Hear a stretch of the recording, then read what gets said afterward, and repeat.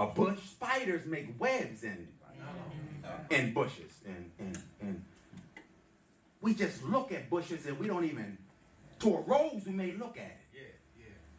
To a sunflower we may, we may look at it. We will water the sunflower. We will water rose. But a, a bush? A bush is an ordinary thing. But that same ordinary thing, God makes catch on fire.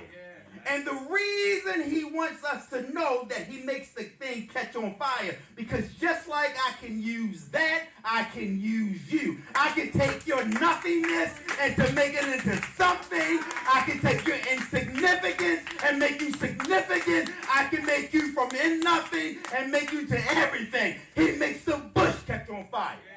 Touch your name and say, I'm lit, I'm lit, I'm lit, I'm lit, I'm lit. Everything around me is lit.